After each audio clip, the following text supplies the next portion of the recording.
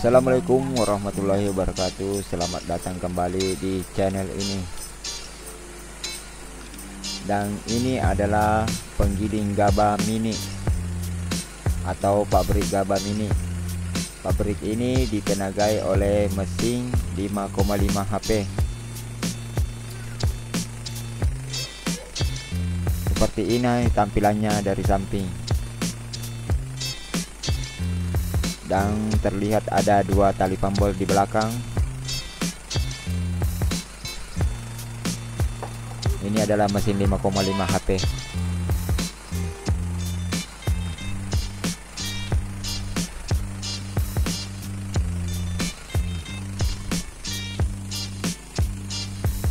Adapun beras yang dihasilkan seperti pada sama bagusnya dengan mesin-mesin mesin giling padi pada umumnya namun kekurangan mesin ini yakni tidak menghasilkan dedak alias dedaknya bercampur dengan sekam.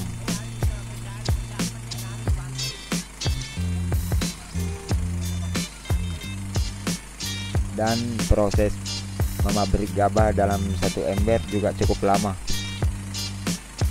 Ini tadi saya coba merekam karena kelamaan jadi saya stop videonya.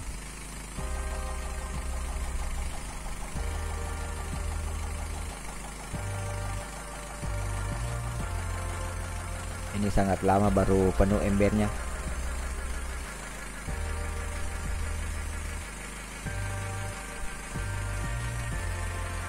Oh iya kalau dari samping itu ada juga pembuangan menir atau beras yang kecil seperti pasir itu.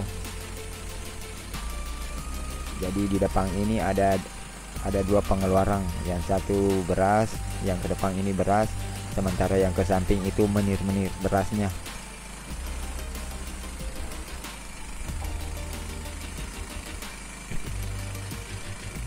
Jadi mesin ini sangat cocok digunakan untuk pribadi.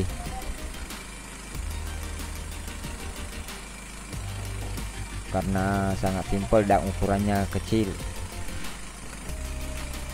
jadi tidak memakan waktu tidak memakan masuk saya ya tidak memakan banyak tempat.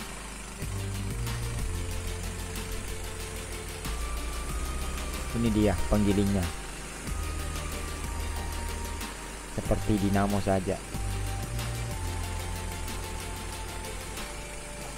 Adapun corongnya mungkin tidak memuat satu ember gabah.